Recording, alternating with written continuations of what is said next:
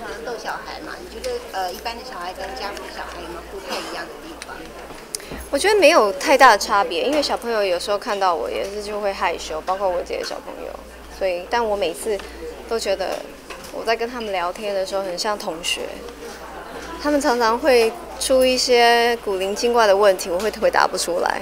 然后我回家之后，我都会觉得，哎，他是一个很好的老师这样子。所以小朋友有时候的力量是蛮大的。那我不喜欢用大人的规范告诉他说你不可以怎么样。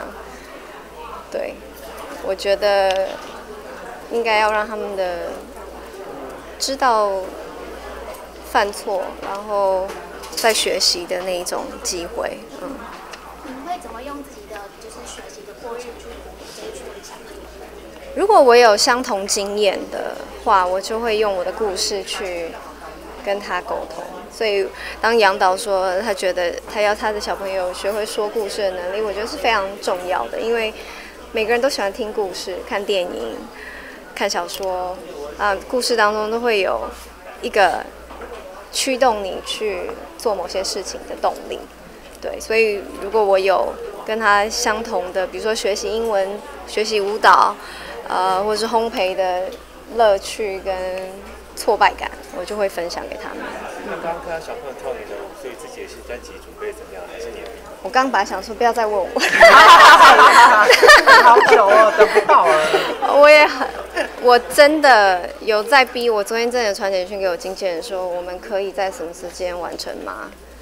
对，我们都是说，我们祈祷上天可以。